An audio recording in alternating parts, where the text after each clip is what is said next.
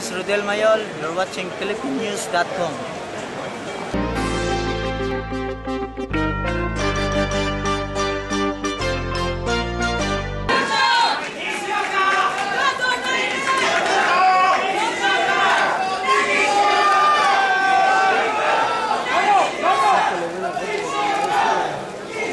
Nishioka is the long-time kingpin of this division. The question is, is he still the kingpin with the inactivity, with his age of 36? Is he, will he still be the guy to beat? If he still is the guy to beat, then it'll be a great, great fight between two of the best super bantams in the world.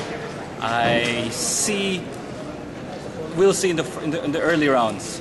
We'll see if Nishioka has the rostering or not.